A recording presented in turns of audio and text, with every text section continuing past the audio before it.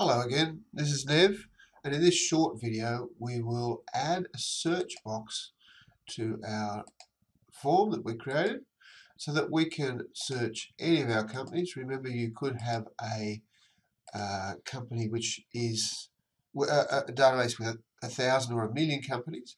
Now if I start typing here S-I-L-L it will or SM, it will uh, immediately start to find your companies. Tab and bingo. Alright, I'll close that.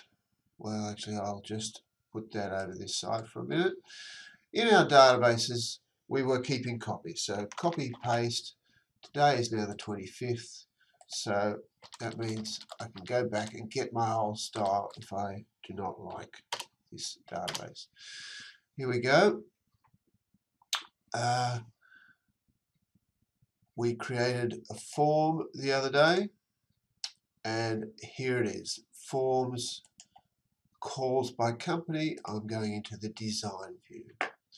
Now in the header bar here I'm going to add what we call a combo box.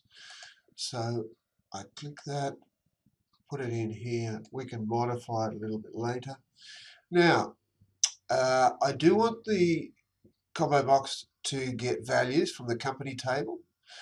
Uh, but I also want it to find a record on my form based on that value. So it'll put the code automatically behind this and it will use uh, a, an operation. When this changes, it will run that code and find the form, find the page that's necessary.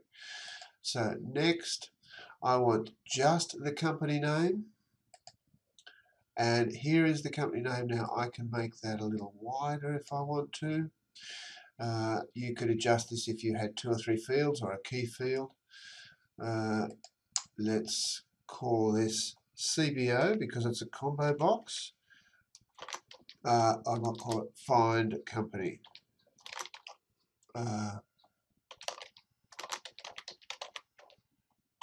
and that's there now.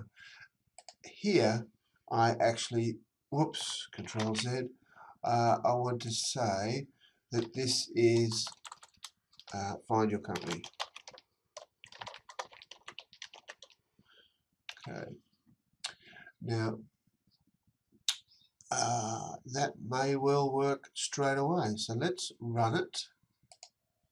And Deep Style, uh, Small Apple, Blue Moose. Look at that. Quick as a flash. By the way, this record counter is for the subform and the bottom record counter is for the main form for companies. This one is for the calls from that company. Thank you.